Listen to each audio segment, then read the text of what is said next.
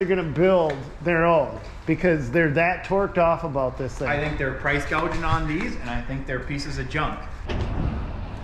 Every day is a new adventure, and today is no different. We are returning our 5,000 gallon mixed tank. We're gonna be switching that out for a 3,000 gallon. If you're not familiar with who we are, we are Dirt Monkey, and uh, we actually love plowing snow. We love removing snow. We haven't had any snow to plow or remove this year, but let me just walk you through some of the stuff that uh, we bought today. In just a minute, we are going to show you the absolute worst purchase that we've ever made, in my opinion, this year for Brian. Are you leaving, Lou? Are you done? Oh yeah. Oh, okay. So some of the stuff that we use on a regular basis, we've got Arctic pushers. This one is a snow wing sectional pusher. Our muskox we have not had a chance to bring out yet. We've got snow power. The short iron back blade has been phenomenal. Short iron has been a real, I mean, it's just been a workhorse. The Arctics we love. I mean, I think we'd take them home and sleep with them at night if we could. We keep our ProTech on on uh, back. It's not the, it's not nearly as good as an Arctic. They tried. This is not the worst, but here's the thing. These are sectional squeegee sections. So each section will go up and down with this ProTech. And it does not work because the whole blade does not go up and down. Not the worst. In the moment, I'm going to show you the absolute worst thing we've ever bought. I'm just gonna, giving you a little tour of our mud hole. Down here, we have not had any uh, any decent weather. We've got a Boss sprayer, snow power. We've got a Hilltip spreader in the back over here, and that does both liquid and brine. We're heavy, heavy into snow removal. Um, we've got Tim's plow over here. He's got a, a Hiniker front mount plow. Tim's got a Boss Drag Pro 180Z. And then these are the trailers that we use on a regular day-to-day -day basis. When we're mixing and, and creating salt, we use, uh, we've got our salt skiddy over here. It's rhino lined, which helps keep, uh, helps keep it clean and clear. And what? What's driving you nuts? I'm trying to think of what it was this guy. I know there was something that we were complaining about. Something we were griping about this summer. I'm like, Alex, I don't know. You usually gripe so much through the summer, it's kind of hard to remember what the hell. Something may be really good one day, and the next day I hate it, you know? remember.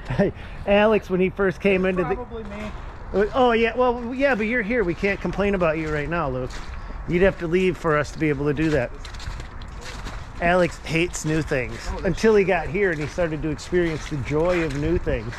But we just bought a new thing that is ter a terrible thing. Tim, I, I need you to come in here and talk me through this because you have you hate this more than anything. I only like it because I try to justify the $800 we spent on it. $800 we lost on it. Let's go through one of the, the not quite as bad things that we hate. And it's not a big thing. This No. one's not a big thing. They're the worst, though. The worst. Yeah, these damn safety cans. Right there. Which it all ends up just leaking out right there, which you can already see. Yep. And then you push this in, and then this thing tends to get stuck, and then you're pulling it out, and it's. I just watched you dump gasoline all over our I dumped new- out a gallon to put a gallon in the machine. Yeah, he dumped out a gallon to put a gallon into this. Lost a gallon, so our brine buddy just got soaked. Or the sidewalk, but sidewalk slayer. Sidewalk slayer. Yeah. So the uh, inside continues the journey of all of our tools, gear, and equipment. Not the cleanest. This thing is phenomenal. Yeah, the VSI, just good quality, just good quality. But we're waiting for the boss to come. Hi, Timmy. Timmy, I've heard you complain about this. You want to hear me complain? No, I have heard you complain. What? I heard he calls me up to complain about this. Recall. Oh, yes, you do. You're like, we're going to invent a new one. And it's right there. Worst $800 we've spent. Alex influenced me to buy it too. It's all it's about. well, we liked it because it had the bigger opening for, So- for some rock salt application. See that? Look at that opening, right? Yep. So like, sweet, it's gonna fall through there instead of get stuck into this type of opening. So this is our original sidewalks spreader, Yep. and this flip her over once. Let's show these guys how bad this one fell apart. How long? How long did we use this one? I wash them every single time except for when this one broke. I quit. Wa- I threw it away. That's why it's rusty. But we take good care of our sprayers. I I Yeah. wash them every single time. He washes everything after every snowfall. Everything. But this thing is, this is the worst eight hundred dollars we spent. Yeah. That's So, why we're gonna. just- What are you? Tell me about it. What are you? What are you experiencing? Well, you gotta to get to anything done. You gotta shake it. all the time. I see you doing the that all the Yep. time. It, it, it just puts a little salt bridge, so it needs a little. Unless we didn't get a certain auger part that comes with it, it's just that little cotter. It doesn't agitate it enough. When you put the salt in there and you fill the thing up, the salt is angular, so it kind of packs down. So when the little spinner is going, it creates a Oh. cone like that. So then it looks like it's full, but right around that little spinner, there's nothing falling in because that little tiny baby cotter pin isn't doing anything.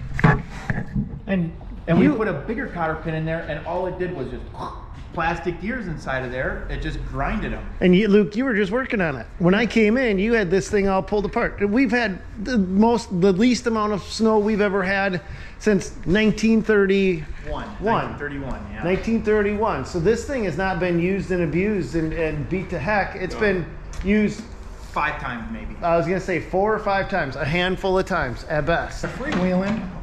All right, so here's the deal. Okay, Tim and. Alex are Sorry, Luke. Tim and Alex are going to build their own because they're that torqued off about this thing. I think they're price gouging on these, and I think they're pieces of junk.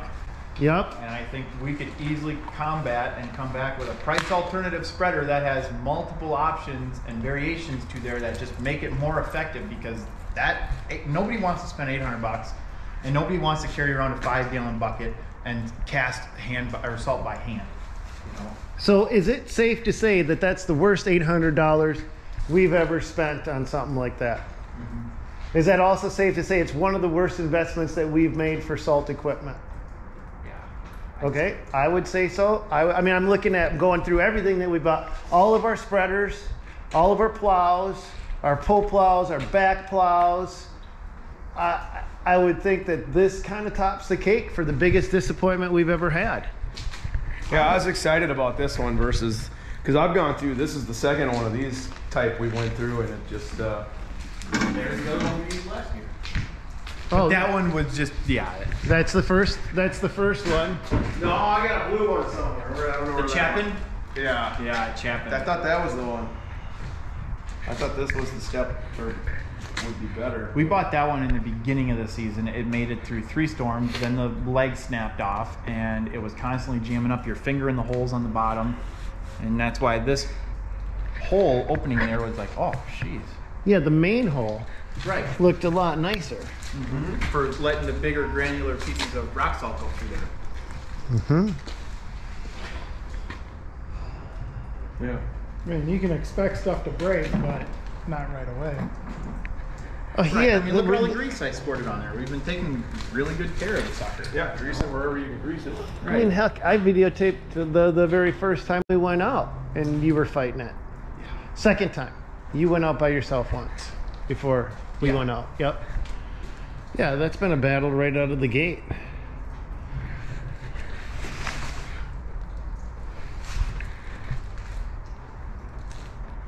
Did it come with a fancy plastic cover? Mm-hmm. Which don't work. yeah.